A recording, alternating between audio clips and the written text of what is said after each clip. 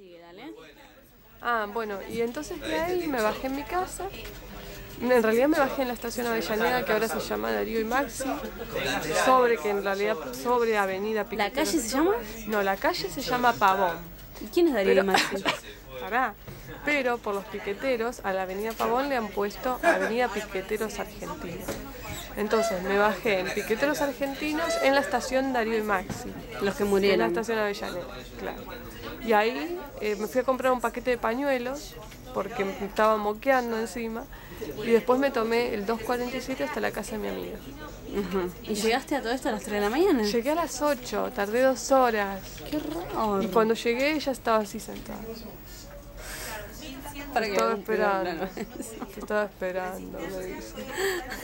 Y yo digo, ah, sí, se me hizo un poco tarde. Me di cuenta. Basta, basta.